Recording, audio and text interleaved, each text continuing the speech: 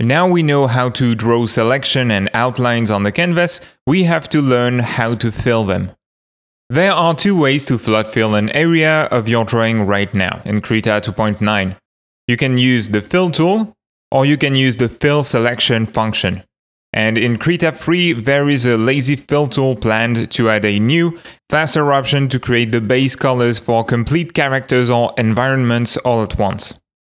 But for now, let's cover the available tools. Krita's fill tool simply fills a contiguous color area based on where you click. It is a bit like the contiguous selection tool, but designed to fill a zone instead of selecting it. In Krita 2.9, the tool cannot be bound to a keyboard shortcut. It is a known bug that is going to be uh, fixed in Krita 3. In the meantime, you'll have to click on the bucket icon in the toolbox to select the tool. The paint bucket is quite flexible. It features a few options and two different drawing modes, which can be found in the tool options docker, as with every tool. First of all, there's the fast mode. The checkbox next to fast mode toggles between Krita and Photoshop's paint bucket behaviors. The fast mode corresponds to Photoshop's fill function. It is fast, but it produces aliased results and you can't use the sliders to fine-tune the look of your color fills. The fast mode is ideal for sketching, for concept art, but also for pixel art. You can use it anytime you don't need a clean result. The normal mode, on the other hand, is slower, but it allows you to create clean fills. First of all, it naturally blends with existing colors on the canvas. It anti-aliases the outlines of the colored shapes it creates.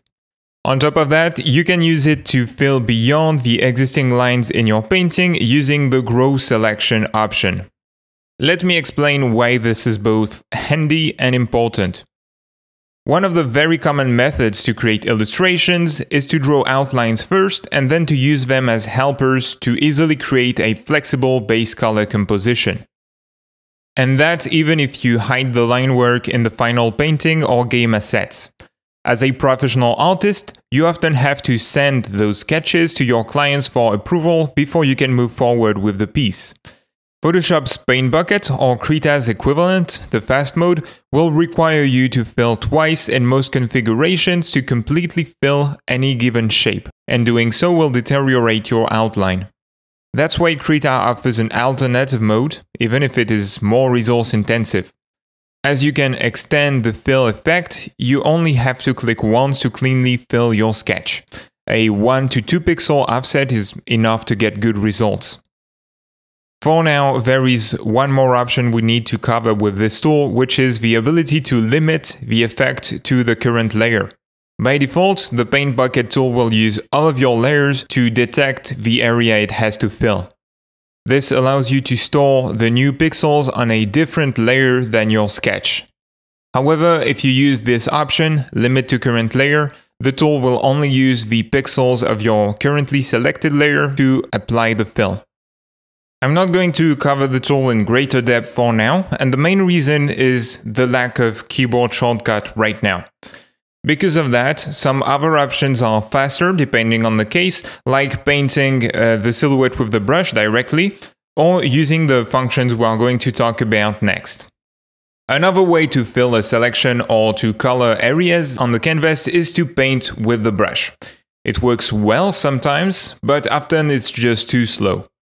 Krita provides four shortcuts to fill a selection.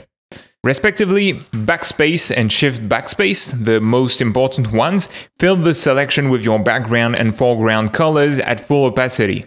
If you add the control key, the fill will be transparent based on your opacity sliders. Note that the functions will use your blending mode even if it's sent to eraser. It's useful in color mode, for example, to quickly recolor parts of your painting.